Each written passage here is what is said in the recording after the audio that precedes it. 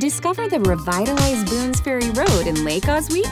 The great restaurants and shops, better walkability, gorgeous medians and bike paths beckon you to stop in or take a stroll. Visit lakeoswegochamber.com to discover more.